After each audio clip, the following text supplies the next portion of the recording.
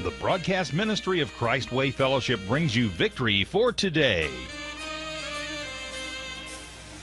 Exalting the Savior, evangelizing the seeker, and equipping the saint. Committed to the principle that you can have victory today and every day through Jesus Christ. Jesus said, I have come that you might have life and have it more abundantly. And now, here's your host, Pastor Wayne Duncan.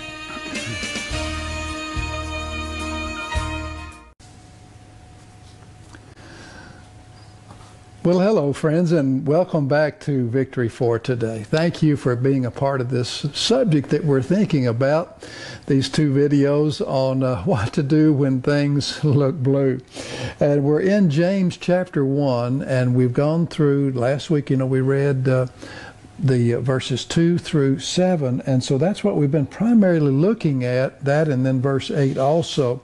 And so we talked about the presence of trials. And we talked about the fact that trials are universal. Everyone has problems. And this, this verse that we read here tells us that uh, when we have these various trials, that we can have joy along with that. And that's what we're looking for, to be able to have joy in the midst of trials, because it says, doesn't say uh, if you have trials, it says when. we all have them. And the thing about trials is they're temporary. But there's something to teach us. They, there's something that they have to do. And if you go back and watch the video that we did before part one of this talk, you'll catch on to that. But here we're talking about the purpose of these trials. Uh, why is it that we have to go through things like this? I mean, why isn't it just always you know, downhill and shady, you know, instead of uphill and loose gravel sometimes. and life can be so difficult. It's like the old uh, country woman said one time that life just gets so daily sometimes. Well, there's a purpose in the trials that we go through. There's a purpose that can come from that. And you know, it's like someone said one time, you never know, uh, Christians are like tea bags. You never know what they're really like until they get into hot water. You've been there and done that? Well, here's something I can say for certain God loves you, and He has a wonderful purpose for your life. That's right. And, and, to refine this purpose in our lives is one of the reasons that we go through these trials, these difficulties, these struggles in life. You know, it said in the scripture that we read last week that it's for our perfection, that is to say, our maturity. When it speaks about being perfect here, it's talking about maturing, becoming fully grown. When you're born, you're born as a little baby and you grow into maturity. Same way when we're born again. We're born as babes in Christ and then we grow in Him.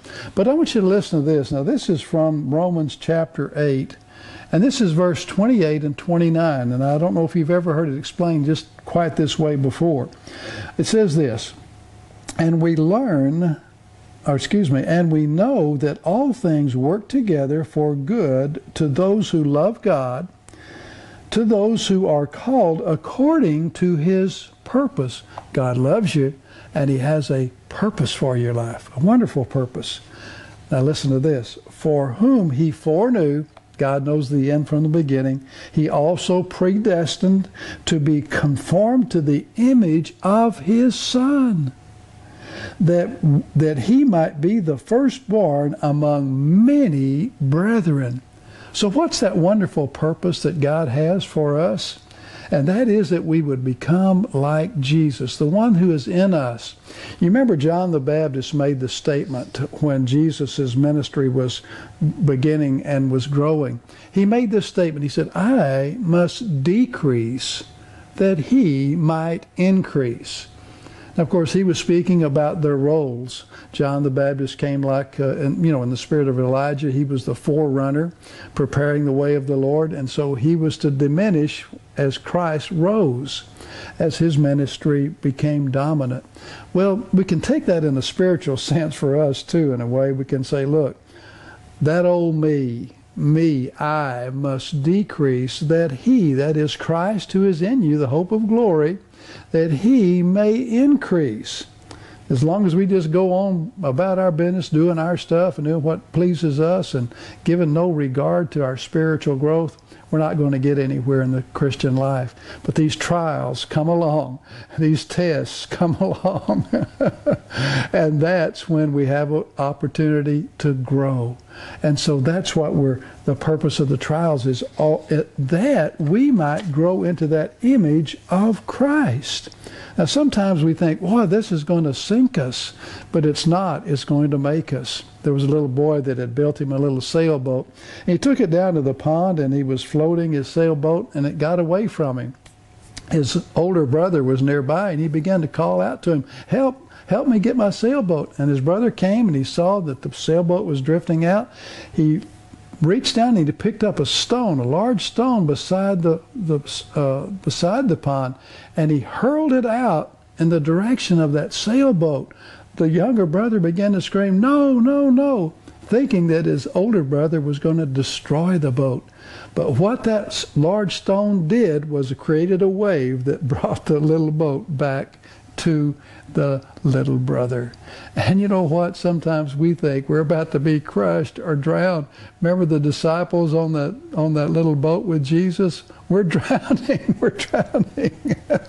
and Jesus calmed the sea. But look, we go through these things so that we can learn to trust him and so that this this Christ in us he's in us and that he may become dominant in us. Not just, as I've said before, maybe you've heard me say this, not just resident, but president in our lives. well, what's the product of these trials? Look what it says here. We've already talked about becoming more like Jesus or Jesus being dominant in our lives. It produces hupomone. It produces this being able to bear up under. It also, it says in verse 4, it perfects us and completes us that we would lack nothing.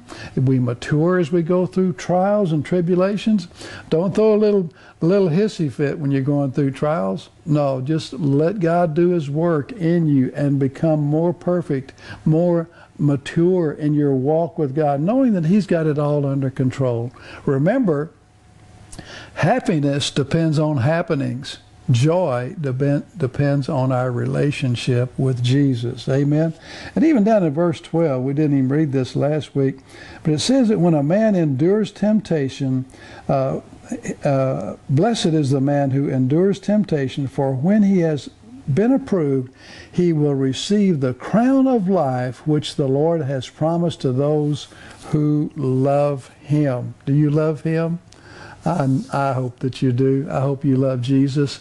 And we are waiting for that crown that he speaks about right here. You know, there's a little girl that uh, was peeling potatoes with her grandmother one time, and she found this real huge, beautiful potato in the sack. And she said, Grandma, look at this potato. And so she began to peel it, and it was just such a beautiful potato. And then she cut down into it, and you know what? It was just rotten, rotten, rotten on the inside. And the little girl turned to her grandma and she said, Grandma, this potato wasn't a very good Christian, was he?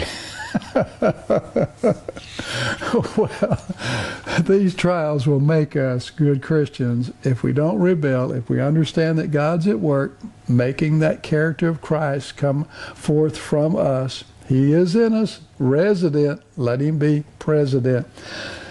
I know you've probably heard of Charles Haddon Spurgeon. He was a famous. Some some people say not just a, a, a great preacher, but the greatest preacher since the Apostle Paul. He lived during the Victorian age in England, and he was quite. You know, most preachers like me, we've got books of Spurgeon's on our bookshelves that we've read and studied. And but listen to what he had to say. This is from his heart. He said, "I bear my witness, my willing witness, that I owe more to the fire." The hammer and the file than to anything else in my Lord's workshop. I sometimes question whether I've ever learned anything except through the rod, the rod of correction. When my schoolroom is darkened, I see most. Now, dear people, don't get all upset when you're going through a difficult time realize that God loves you and He has a purpose, a wonderful purpose for your life. And He wants to make you over into the likeness of Christ. that he might be the firstborn among many brethren, including you and me. Okay. well, praise the Lord. Praise the Lord. And I hope this is helpful to you. If you missed part one, go back and watch it and then come and watch this one again. Now, on our website, victoryfortoday.com, you will find over 300 talks and sermons on there, some audio, video, and some both. And so, uh, also, you might find uh, on there uh, a particular subject that you'd like to pursue. If you look at the, uh, go to the part that's called archives, so you can see what's the last three that have been posted. But go down and there's a little uh, magnifying glass there, and you can type in any subject like the Ten Commandments or love or or whatever it might be, anger, and it will bring up every sermon, every talk that we have on there that deals with that subject. There's over 300, so we've touched on a lot of things. Uh, also, the uh, PowerPoints are available very often on that. And if you don't have a Bible, I'd love to send you one absolutely free, no strings attached. You can have the New King James Version, which is the one that I've been using here in our talks, or you can have the traditional King James or a Spanish Bible.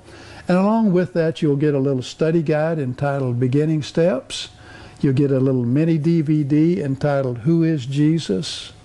Uh, excerpts, 20 minutes of excerpts from the gospel film Matthew, one of my favorites. And uh, also, you get some little booklets like the Four Spiritual Laws, How to, uh, or Have You Made the Wonderful Discovery of the Spirit Filled Life? And then there's one for a little comic book style, graphic arts, I think they call it now, for the kids. And uh, so you can get that absolutely free. Just uh, go to the website, you can order it there, or you can write to me. If you're watching on YouTube, please uh, subscribe, and that way we can inform you when we have something new that comes online. But go to the website or write to us uh, for your Bible, absolutely free and no strings attached. Okay? God bless you. This is Wayne Duncan saying, The good Lord willing, and the saints don't rise. I'll see you right here next time on Victory for Today.